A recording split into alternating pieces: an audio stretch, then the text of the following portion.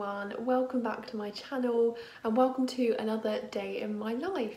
This is just a day in lockdown, studying, relaxing, you know, everything you can do in lockdown to be honest. Made myself my breakfast, just my usual porridge with banana and strawberries and not gonna lie I'm gonna eat it while I watch Made in Chelsea. I've started Made in Chelsea from the very beginning and there's like 18 seasons or something so you know, that was probably a bad decision. So I might go and watch that in bed with my breakfast. It is eight o'clock. I've got a big day of studying ahead of me, so I'm just gonna have a nice chilled morning.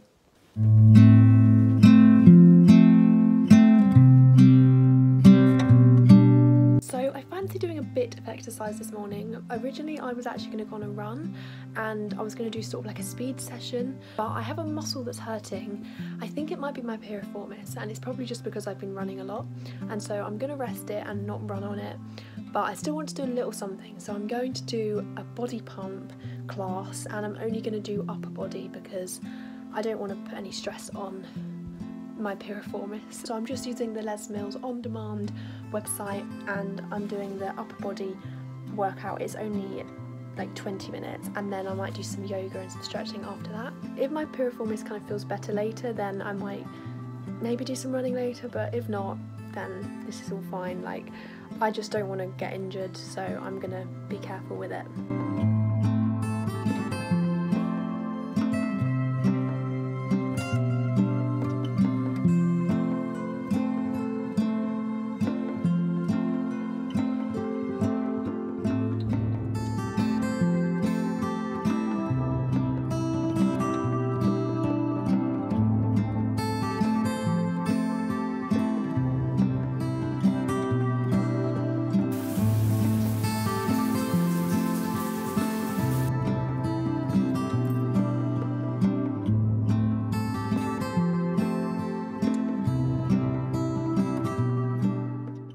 I'm starting work now.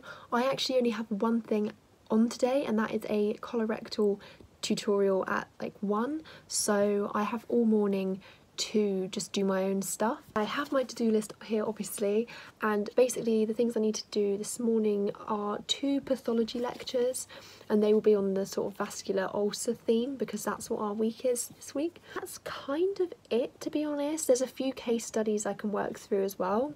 Um, for this week and then the end of the week quiz. Other than that, I just want to be making notes. We've done like the upper GI, upper gastrointestinal tract and like lower GI stuff already. Um, and I just want to sort of go over my notes and condense them into handwritten notes. So I'll be doing some of that and that's more kind of like revision for me. Yeah, so I'm going to start off these pathology lectures.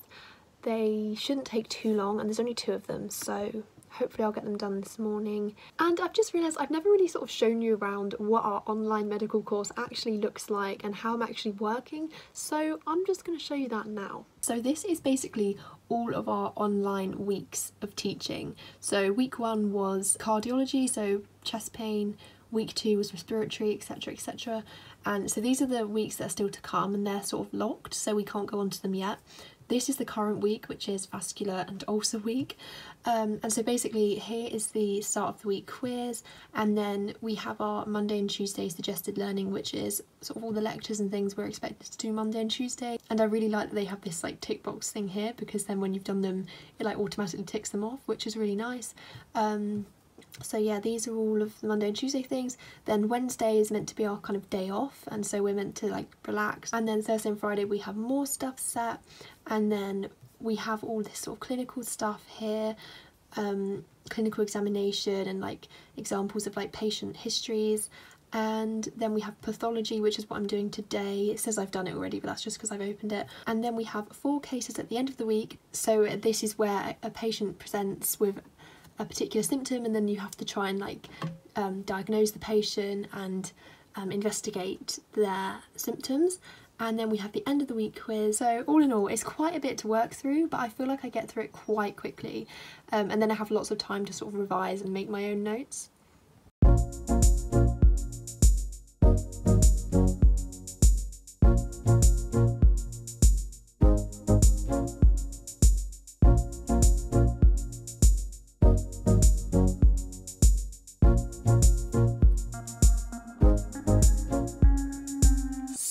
Finished both the pathology lectures. They did not take as long as I thought they would. I thought they would take me like the whole morning and they took like under an hour. So I've now got a long time until my seminar, which is fine because still plenty to do. So I was thinking I might do some of the case studies for this week, but I think I might save that for later on because it's more of a kind of chilled activity.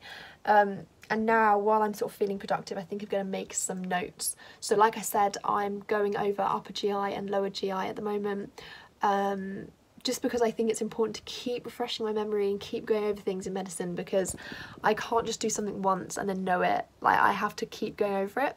So I'm basically just revising like a lot. So any time of the day when I'm not doing this week's work, I'm kind of going over old content.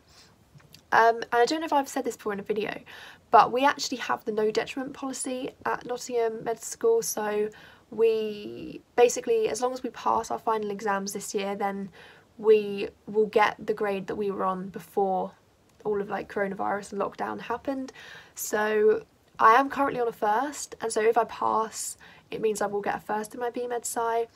But I don't really want to just pass, to be honest. Like, I think the thing of medicine is that it's not just about getting a degree.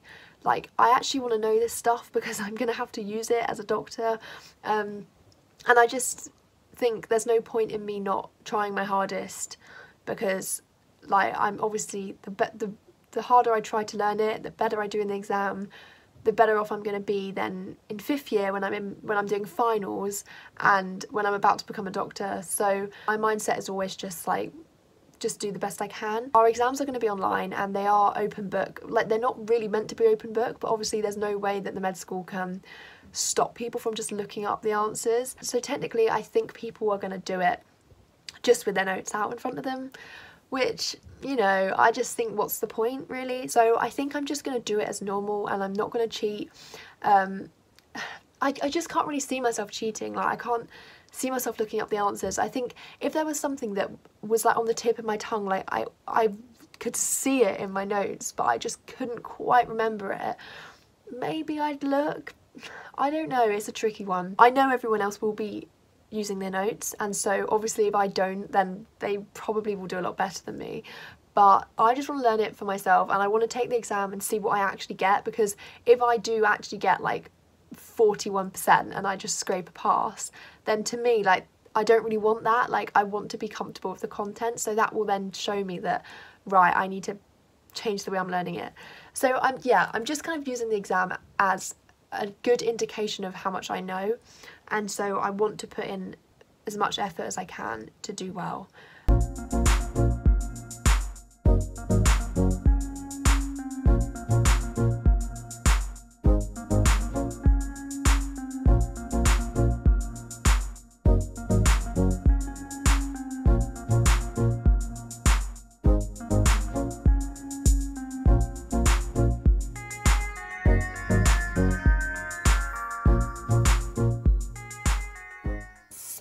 My seminar in about nine minutes. Um, it's going to be on Zoom and it's colorectal surgery. So this could encompass quite a lot of things. So I'm not really sure what it's going to be on, but I think it's going to be like we're going to discuss cases as a group and then maybe we'll get asked questions and things like that.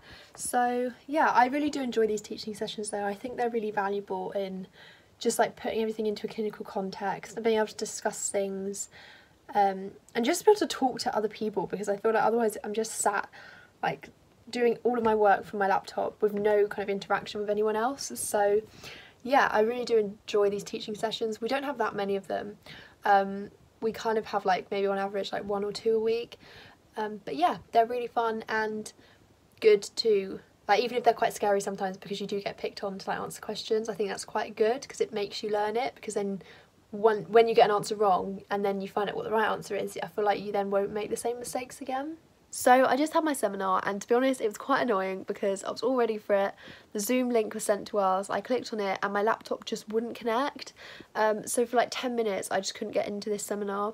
Um, eventually I got on like on my phone but it just highlights the frustration of online uni. Like I would never be late to anything um, and I, I just it was like out of my control. Like I just because of my internet or whatever problem it was, I just couldn't get onto it. That was really annoying. Um, But the seminar itself was really interesting. It was colorectal stuff, so it was like uh, bowel obstruction, things like that. Um, so yeah, I still like enjoyed uh, the seminar itself. It was just annoying that I couldn't get onto it. So I've got myself a cup of tea and a little bit of cake because it's just that time of day, isn't it, really? I think I'm going to do a bit more work now, so just making some more notes um, on GI hemorrhages.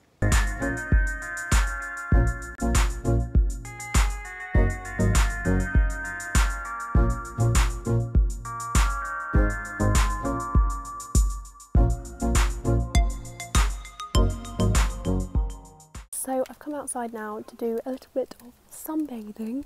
Uh, this really is a realistic day in my life. Um, I don't work all day, I do actually relax. Um, so I'm going to maybe watch a bit of Made in Chelsea, uh, listen to some music, read my book, um, just relax really. It's a typical sort of British summer day where everyone's out in their gardens sunbathing because we feel like we're in a foreign country, but realistically it's just the UK. It's not really that hot to be honest. Like it's hot for us, but in the world of climates, it's not that hot. yeah, I'm just going to relax for the next hour or two and do nothing.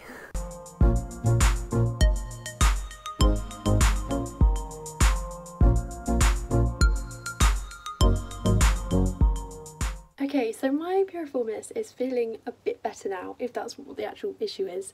Like, when I'm walking, it's not hurting. It's like a very, very slight niggle. But I just really, really, really, really, really want to go on a run today. And if it hurts afterwards, then, well, I'll just say I told you so to myself because I probably shouldn't have gone.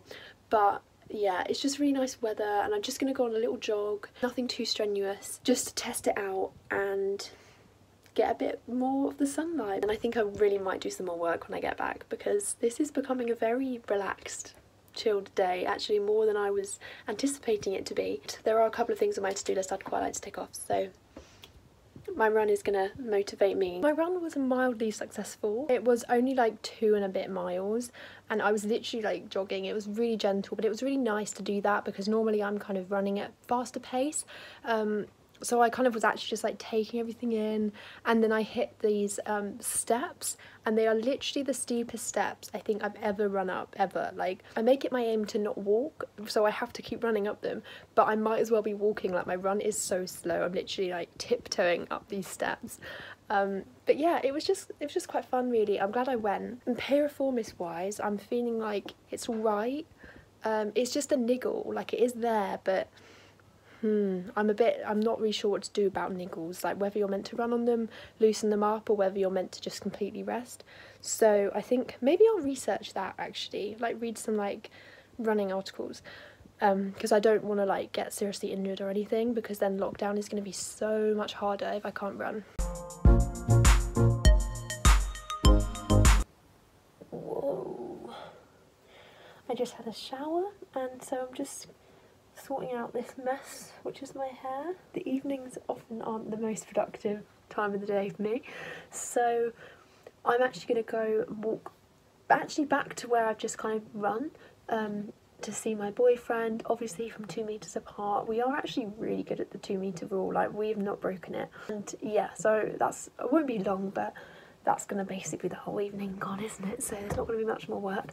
But because I am feeling a bit like I haven't done any work for a good few hours now, um, and it is technically a weekday, and I try to kind of do lots of work in the week so that the weekends I can be more kind of relaxed. But this is kind of turning out a bit like a weekend sort of day.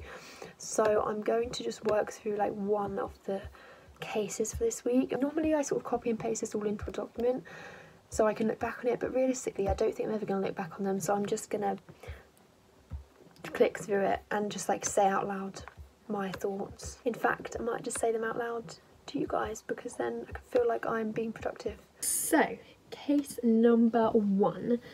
A 51 year old man has an appointment because he has raised blood pressure. So it's 172 over 100 that is quite raised. You're the medical student, you're asked to go see him. Okay, note down the possible presenting problems here.